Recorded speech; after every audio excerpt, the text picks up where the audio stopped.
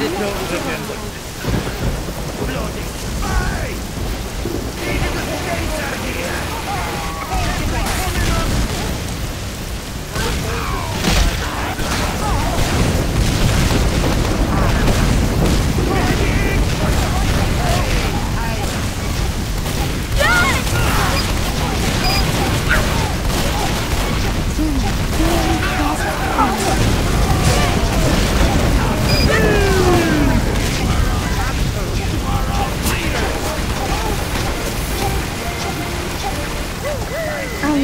All gathered here